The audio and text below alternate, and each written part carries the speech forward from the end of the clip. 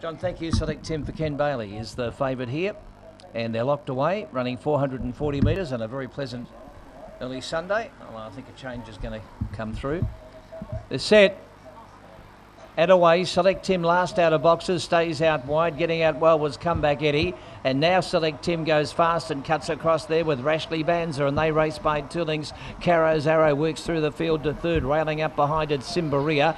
Out a bit wider on the track was uh, Cruisin' uh, Cripps and also Comeback Eddie. Simbaria's got well back into the field with Ready Sebi Go. Into straight, Select Tim in front. Trying hard, Rashleigh Banner. Select Tim beats Rashleigh Banner and Caro's Arrow and flying when it was all over Cruisin' Cripps. Behind them, Simbaria in company there uh, without wider. Ready Sebi Go. Comeback Eddie. Hannah Bear didn't do much. 25.46 the time.